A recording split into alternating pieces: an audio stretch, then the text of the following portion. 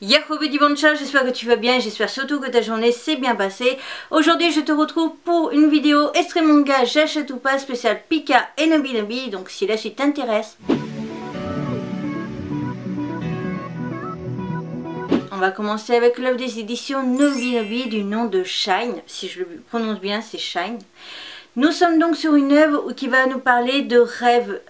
D'une fille euh, qui veut devenir top modèle mais malheureusement est trop petite pour rentrer dans les cases justement parce que il faut faire une certaine taille, un certain poids etc pour devenir top modèle.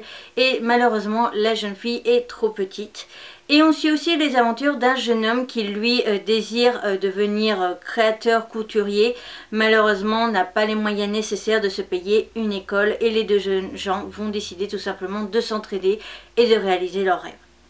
En ce qui concerne donc la jaquette, déjà il faut savoir que j'ai eu un gros coup de cœur et qu'elle m'a vraiment attirée parce qu'elle ressemble à une couverture de magazine et j'ai trouvé ça juste comme clin d'œil parfait. Alors j'ai l'impression que c'est plus euh, la France qui l'a fait parce qu'au niveau des couvertures japonaises, je trouve pas trop qu'il y ait ce côté magazine.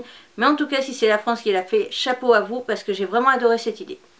Pour ce qui est du scénario, donc je viens de te l'expliquer et en ce qui concerne ce que j'en ai pensé, j'ai tout simplement eu un méga coup de cœur. Il faut savoir que le monde de la mode, du stylisme, des vêtements, etc. est quelque chose qui me parle énormément parce que j'adore ça et que moi-même, même aux années collège, j'ai dessiné, alors pendant mes années collège, on va dire qu'il y en avait trois, j'ai dessiné une centaine de tenues en trois ans. oui, et encore même pas parce qu'il faut pas qu'on... Oui, si... Euh... Oui, entre... 3 ans, ouais, ouais, 3 ans. Euh, j'ai donc dessiné une centaine de tenues parce que j'aime ça, j'aime la mode, j'aime les vêtements, j'aime créer des vêtements. Donc voilà, mais en tout cas, toujours été que j'ai eu vraiment un méga coup de cœur pour euh, les premières pages et ce que j'en ai lu. Donc, est-ce que j'achète ou pas? Ma réponse est oui. On continue la vidéo avec Too Bad I'm in Love, qui est un manga cette fois-ci où on va suivre les aventures de jumelles. Donc dans cette série en fait on a deux jumelles et une qui a tout le temps de la chance, qui réussit tout ce qu'elle veut, qu'elle a tout ce qu'elle veut et la deuxième qui a toujours pas de chance, qui finit toujours au deuxième rang etc etc. Dès que quelque chose de positif arrive, elle est persuadée que quelque chose de négatif par derrière va arriver, chose qui se fait. Et donc ça j'ai vraiment déjà adoré le principe. De plus la jeune fille, euh, donc la malchanceuse, décide de changer d'école pour qu'on arrête de la comparer à sa sœur et les surnoms etc qu'elle avait eu à son ancienne école. Malheureusement dès qu'elle rentre dans sa nouvelle école, elle découvre que dans sa classe déjà il y a une fille qui était dans son ancienne école et donc qui la reconnaît et qui commence déjà à lui sortir son surnom.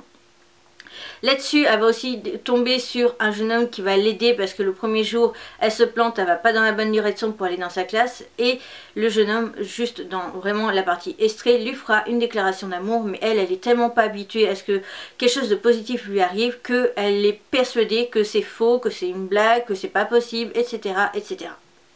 Ce que j'ai vraiment aimé en fait dans ce scénario, c'est déjà le coup de, fait que ça soit une jumelle et donc qui est une chanceuse, une malchanceuse. Je pense à mes cousines qui sont des jumelles justement. Si les filles vous regardez cette vidéo, je vous dédie ce passage.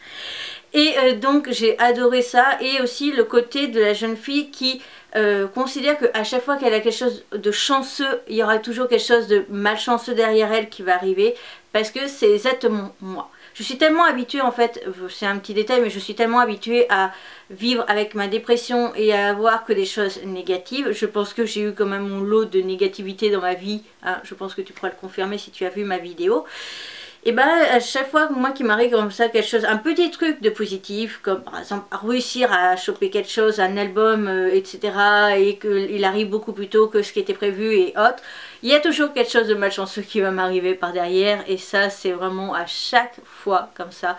Dès que je suis heureux, j'ai toujours peur, dès qu'il y a un truc positif comme ça, j'ai toujours peur. Donc j'ai toujours peur dès qu'il m'arrive quelque chose de positif parce qu'il m'arrivera toujours quelque chose de négatif par derrière et donc forcément je me suis beaucoup reconnue dans cette héroïne.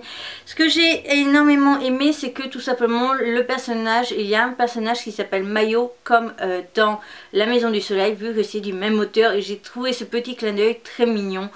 Donc voilà en ce qui concerne les grandes lignes. Et pour ce titre, j'ai pas eu un méga coup de cœur, mais un giga coup de cœur. Et donc, est-ce que j'achète ou pas? Ma réponse est oui.